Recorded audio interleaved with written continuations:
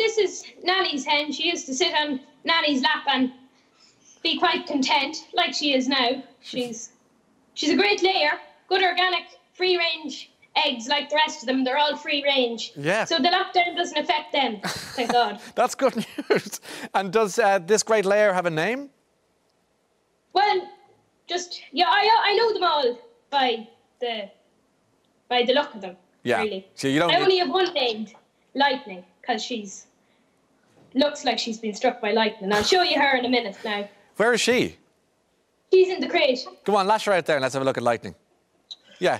So we'll say goodbye to this one, the, the, the, hen with no name, which is in a song in itself. yeah. And we'll drag Lightning out of the crate, the homeland crate, and see where's. That's- This is the mad hen, I have to say. ah, no, no, you're doing great. This is what it's all about. You know, this is lockdown gold. And Yeah. here's Lightning now. Oh, she does look like she got a bout of the Lightning, all right, yeah. Is she a little bit wrecked looking?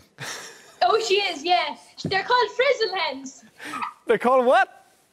Frizzle hens. Yeah, she looks frizzled, yeah.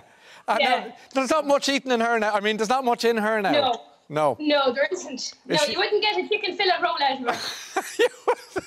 What? Don't. She can hear you.